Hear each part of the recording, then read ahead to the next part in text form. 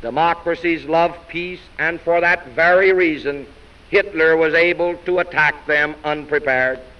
It is true that we should all of us have taken alarm sooner than we did. We should have begun to prepare the moment the rise of Hitler revealed our danger, but we did not. And the result is a desperate need for speed, a desperate need for action.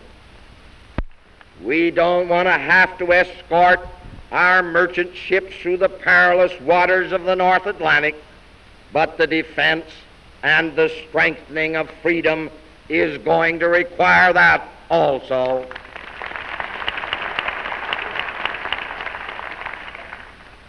And where the strengthening and the defense of freedom requires that we act